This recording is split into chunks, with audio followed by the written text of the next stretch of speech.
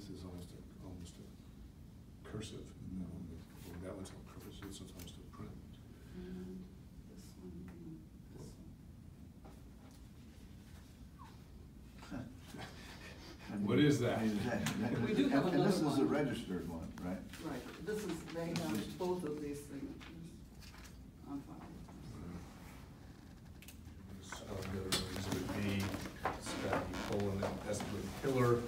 for the reasons set forth on the exhibit and as explained by staff. Second. All in favor, signify by I- saying. I Oh, have I'm sorry, yeah. sorry. discussion? Yep. Uh, are we gonna contact them and let them know about think uh, that's what- submitting a signature affidavit? Mhm.